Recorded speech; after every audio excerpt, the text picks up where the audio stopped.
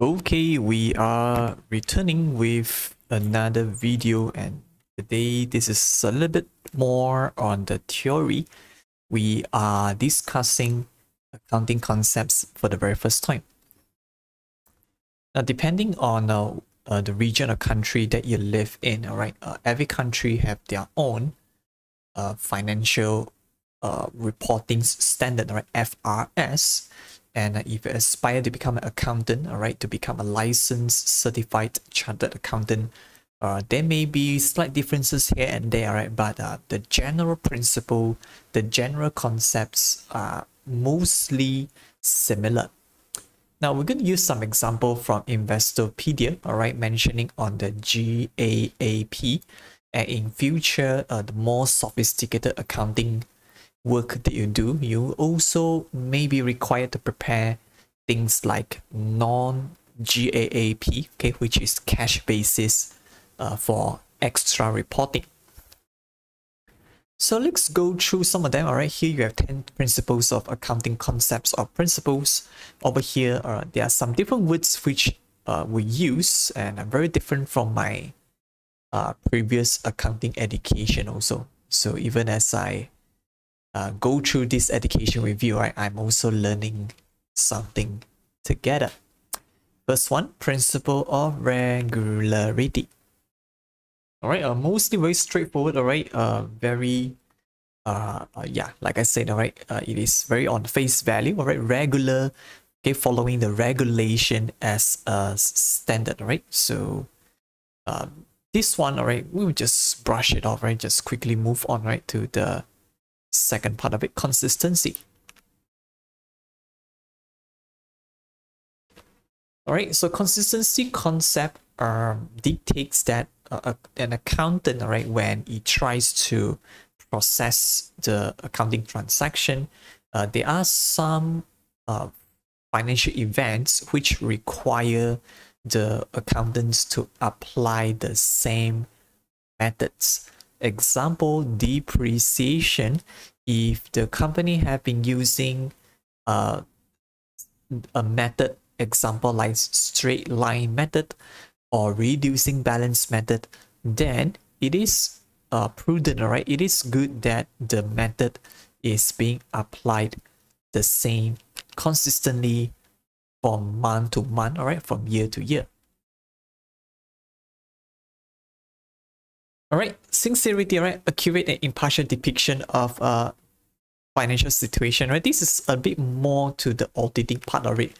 All right, uh, you have a term like true and fair view, all right? So when an accountant prepares it, all right, the he is to make, make sure that the work is correct, all right? So that's why you need the help of uh, internal auditor if you have it. If not, uh, you compulsory need a, uh, external auditor when you go for a listed company context. Right, some new things here, right? Now, permanence of methods, a bit similar with the number two, right? Consistent comparison of financial information. Uh, you find it is a bit overlapping here, okay? So maybe some extra things to add on is that allowing comparison of the company financial information uh, not only to the same company but also across different industry. Uh, sorry, across the same uh, across the different companies in the same industry. All right, so for example, within the same company, uh, the investors right, may be interested to know and compare your cash flow statement uh, from, let's say, last year and this year, right? So it is important that the accountant used the same methods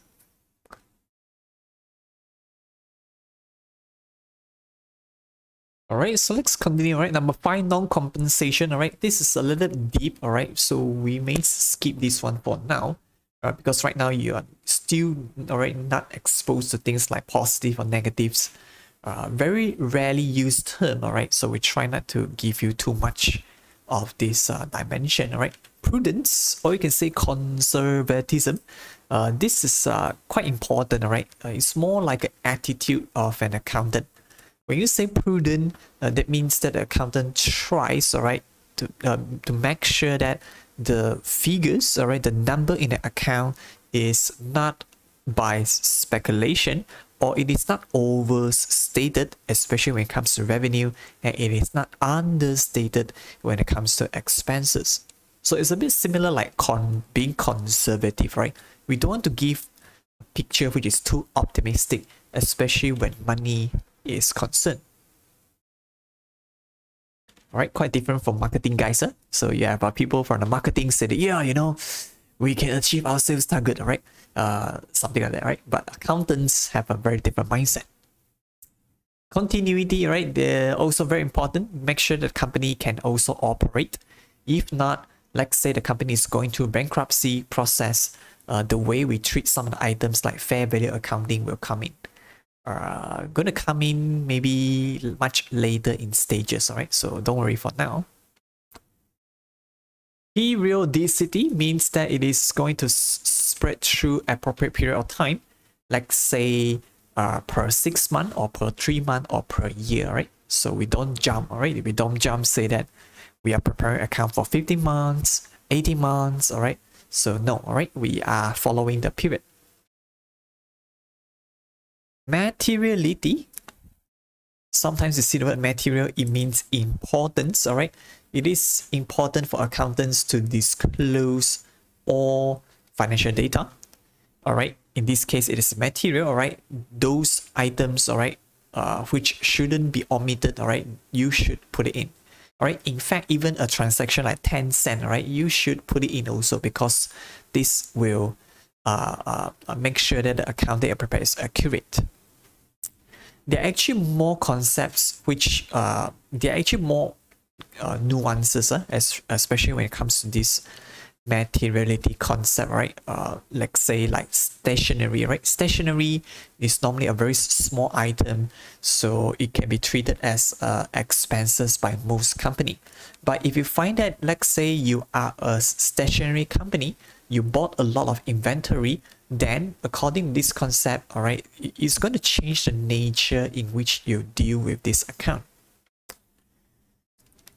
But uh, because we only explain the theory, alright, so we just go for first, alright, utmost good faith.